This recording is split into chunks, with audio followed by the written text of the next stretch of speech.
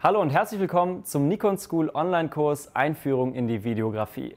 Mein Name ist Marian Hirschfeld, ich bin leidenschaftlicher Filmemacher und vielleicht kennst du auch schon einige meiner Arbeiten, denn ich habe in der Vergangenheit zusammen mit diesem Team schon zahlreiche Nikon-Kampagnen und auch Online-Kurse produziert und so konnten wir einiges an Erfahrung beim Film mit den Nikon-Kameras sammeln.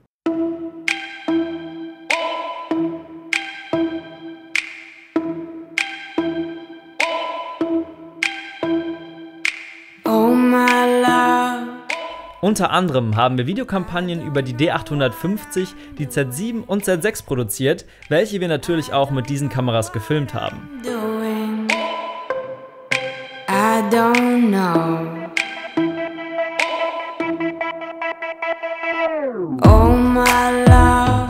Bei diesen Videoproduktionen haben wir mit Top-Nikon-Fotografinnen und Fotografen die verschiedensten Orte besucht.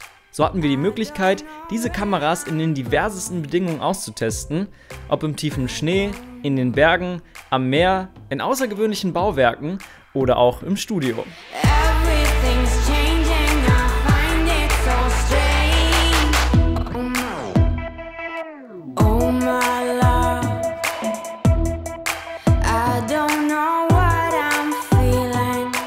Die Expertise, welche wir aus dem filmischen Arbeiten mit Nikon-Kameras gewonnen haben, wollen wir dir in diesem Workshop innerhalb von sieben Kapiteln weitergeben.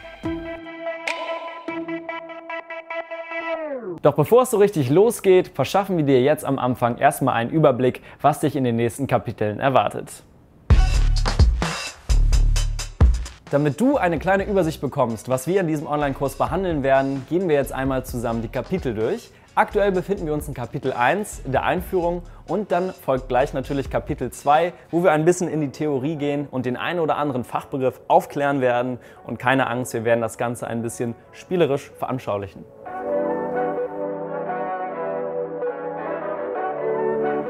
Und in Kapitel 3 beschäftigen wir uns dann mit dem Thema Equipment und auch mit der Frage, was ist wirklich essentiell und was ist sozusagen fortgeschritten.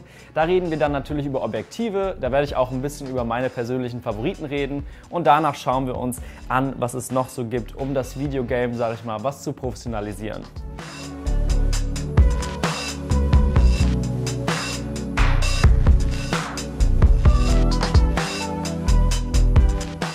In Kapitel 4 gehen wir dann zum ersten Mal in die Praxis und werden draußen mit der Kamera unterwegs sein und on-set nochmal Einstellungen veranschaulichen und da auch Themen behandeln wie zum Beispiel Kamerabewegung, Perspektive, Stilmittel wie Slow Motion und einfach tiefer in die Materie einsteigen. Dann geht es zu Kapitel 5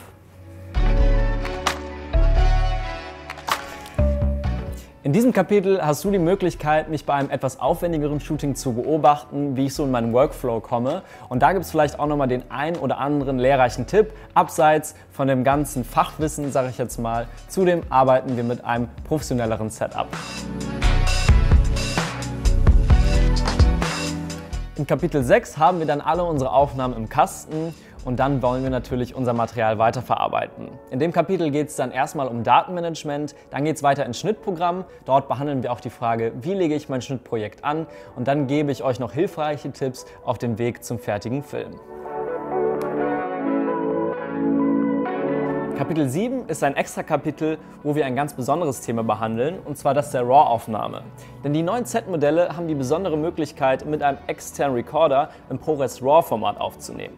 Und da zeige ich dir von den Einstellungen über die Aufnahme bis zur Weiterverarbeitung, wie der Workflow funktioniert und wir reden darüber, was die Vor- und Nachteile dieser Arbeitsweise sind.